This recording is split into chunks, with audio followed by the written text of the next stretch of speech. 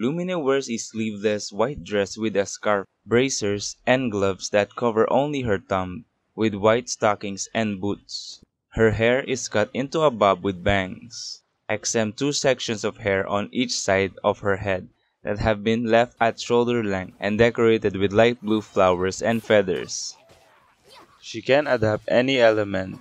Current element that she is using is Anemo or also known as the wind.